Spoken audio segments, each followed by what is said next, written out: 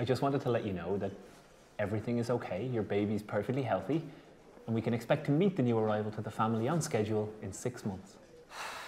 Thank you so much. Thanks, Doctor. In fact, we're at the stage where I could probably tell you the sex of the baby if you wanted. So soon?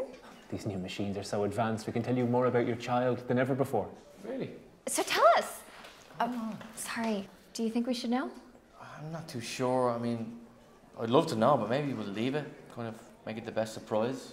Yeah, no, I, I guess you're right. It's just, you know, my birthday's coming up soon, and it would make it even a more special day if I found out we were having a little baby you or a little baby me. Go on, so. Okay. So you were having a little baby boy. Yes! yeah! That's right, a boy named George. George? Wait, who's George? George, your, your son, George. That's the name you chose? Why would we choose George? It's what the test results came back with. What? That's not. How's that possible? I get to choose the name if it's a boy, and I choose Kevin. Well, the, the test results don't lie. They say his name is George, and it says here that you didn't pick his name. No, no. We discussed this, didn't we? Well, it's just, I was never so on board with Kevin. It's kind of a nothing name. I'm not on board with Kevin. What's wrong with Kevin? Well, name me one Kevin who's ever achieved anything. Ever. Well, name me a George that's done better than a Kevin. George Harrison. He's a Beatle. Uh, George the second. Everyone loves a sequel. And uh, George Best. That's in the name. I suppose we're going with George, so. Good. So, Doctor, uh, before you told us you could let us know more than ever before. Sure. We have some more information, if you'd both like to know. Yeah, fine, whatever. Be a little excited. Please tell us more, Doctor.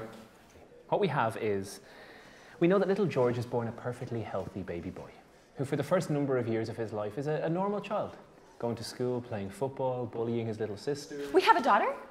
Oh, um, What's her name? Clarissa. Clarissa. I love that show. Can we stick to one child at a time, please? I, I think that's best.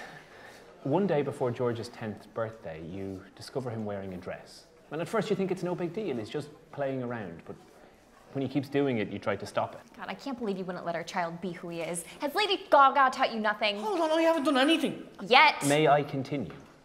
And for the record, it was you who were against the dresses, not your husband. Ah, yeah. Anyway, after a while, he grows out of the cross dressing phase. He discovers that with the love and support of his family, he can be whoever he chooses to be. And that person is a man. Oh, that's, that's wonderful. And then he gets really into bugs. bugs? What, what do you mean, bugs? It just says bugs.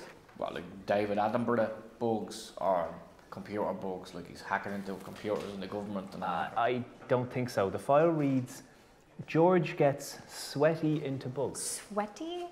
That's a horrible adjective. It, it, it just says that he, you get so concerned about it, you, you try to push him back into the cross dressing. that doesn't sound good. I thought we accepted his cross dressing. Listen, I- I was the first one to accept his cross dressing, but I mean, when parents have to force their teenager into cross dressing, Well, he's not a teenager when this is happening. Oh, how old is he then? 32? 32? Oh, Jesus! Where did we go wrong? Well, it says here that you inhaled secondhand smoke, which leads to him developing quite a prominent hump on his back. You never said anything about a hump. Developed late. And it also says that you stopped playing Mozart's Symphony Number 40 in G minor, four measures early, after your wife fell asleep. Well, that leads to him prematurely ejaculating with his first girlfriend. She dumps him, and it all sort of spirals from there. Why did you do that? All of the books say if you play the music to the child, it'll increase their intelligence. I didn't know Mozart was going to make our child impotent if I didn't follow his rules.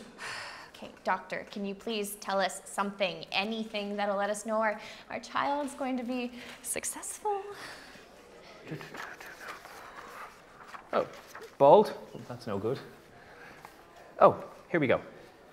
He becomes the leader, CEO even, of an entire group. So, guess we'll leave it at that then. No, come on, doctor, tell us more about this group. No, it's getting late. Come on, doctor, tell us a bit more. I I have other patients. Is he the leader in a group of stockbrokers making millions in the stock exchange? Yeah, he's probably like a leader of them, like environmental lawyers, like taking on evil corporations or something like that. or working with caregivers in impoverished countries, giving money to those in need. Well, okay, he wouldn't he wouldn't travel there. No. He would send the money from his beach house in Barbados. Oh, Barbados! So, doctor, are, are we in the ballpark? Yep, Okay, wh- which part? all of it. Oh, all of it. Yep. What does it really say? It says that he brings together a group of people dedicated to overthrow the Master Zozo. So- I'm sorry, who? You, you know what now?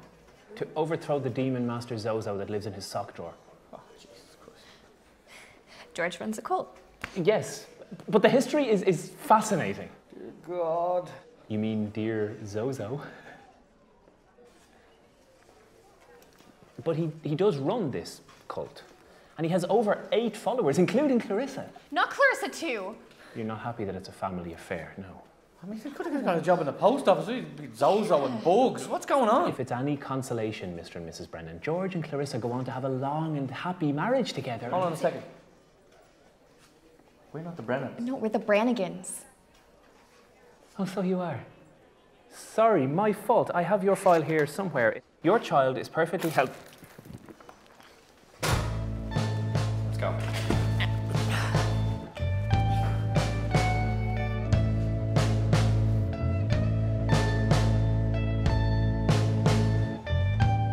Good luck.